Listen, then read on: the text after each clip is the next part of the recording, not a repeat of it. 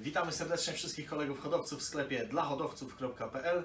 Dzisiaj mamy przyjemność e, gościć kolegę Kamila Michałowskiego, który jest opiekunem stada e, u kolegi Rainera Pitmana, jak wszyscy zresztą e, koledzy na pewno kolegę Kamila kojarzą.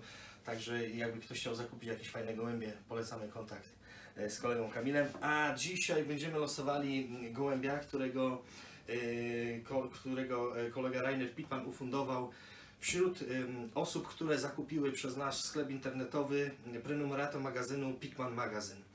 E, także może o tym gołębiu coś więcej kolega Kamil by powiedział. Dzień dobry, witam wszystkich. E, Przywiozłem do gołąbka, jest to samiczka.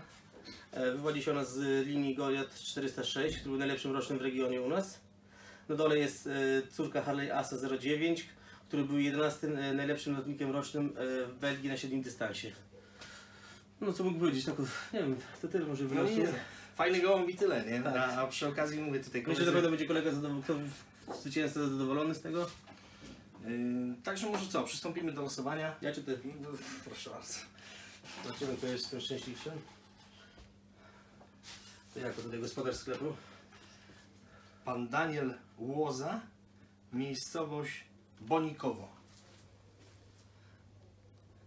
Także panu Danielowi tutaj gratulujemy. Serdecznie gratulujemy. Tak jest, y, mamy nadzieję, że tutaj sprawdzi się ten gołąb w rozpłodzie.